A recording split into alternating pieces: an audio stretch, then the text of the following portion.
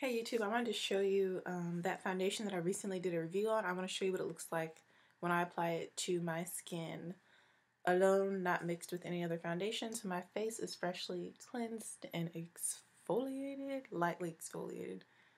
And um, I also primed and moisturized using my Cover FX mattifying primer with acne treatment. And what I like to do after that is I just like to use this little squeezy tube and I just make little dots all over my face as you can see.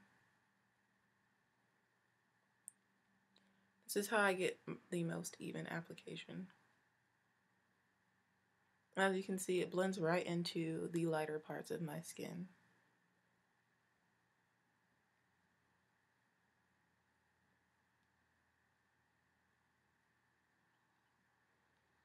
But I make the tiniest of dots. Like they're not raised dots at all. Like they're very flat, very minimal product.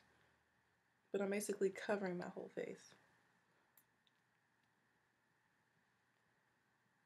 In little dots.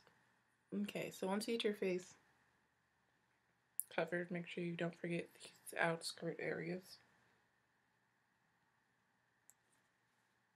And whatever's left, I just put on the bottom of my chin. So I put dots all over my face, and as you can see, it blends into the lighter parts of my face really, really well. The perimeter is not so much, but that's okay. I have a solution for that. So I dab it all over, and then I like to take a brush first, a flat top brush. This is from BH Cosmetics. It's a 116. And I find that, look at that coverage though. The coverage is really good. I use a brush first to blend it out. I'm using really short sweeping motions and tapping motions to do this.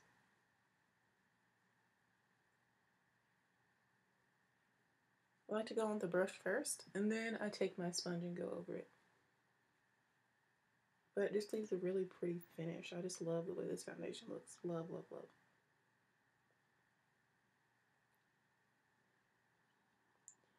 I'm feeling really like, don't take this term offensively, but like basic today when it comes to my makeup. Like, I don't really feel like doing anything to my makeup except for like some foundation.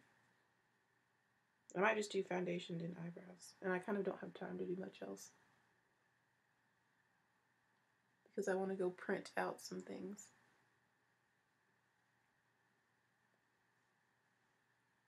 Further my first class. But as you can see, it's really, really easily blendable. And when I get to my edges, you guys know I just kind of go with the flow, lightly sweep it in that area. And the coverage is awesome. Like this is a pretty like full coverage foundation from the drugstore for $9.94.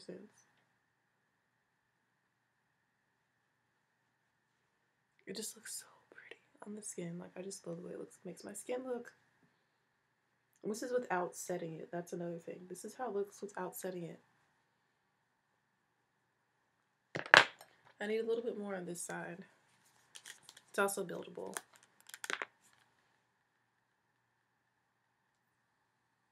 And again, this is the Maybelline Dream Velvet Soft Matte Hydrating Foundation. And I have the shade 95 Coconut, which is the darkest shade. And this 95 Coconut is darker than the Superstay Better Skin foundation. I'm just going to go with some more just to have even fuller coverage. Even though I don't really need any more coverage. Like one layer like does it.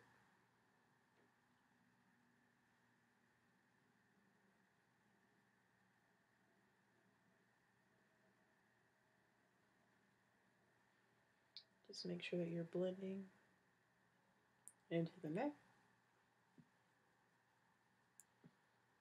But yeah, it applies so beautiful. I was like, I love this. This is really what I've been reaching for ever since I got it.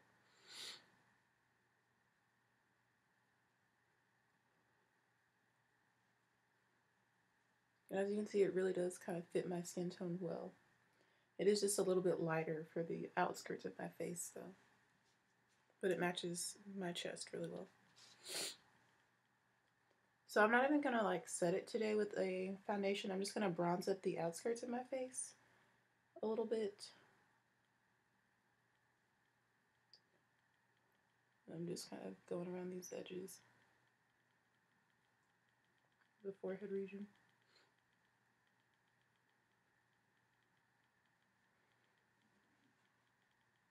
Alright, so once I get it all on with my brush and I'm satisfied with what my brush can do,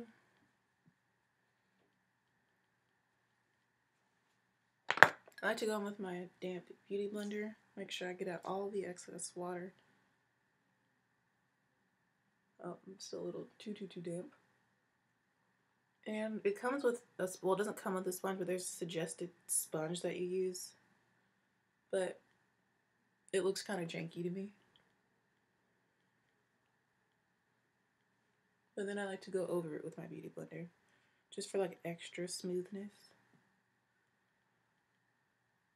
And to help press it into the skin.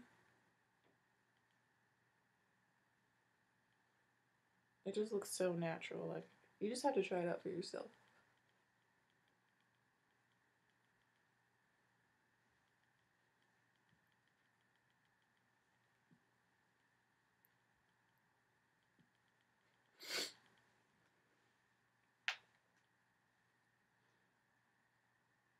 Look at that.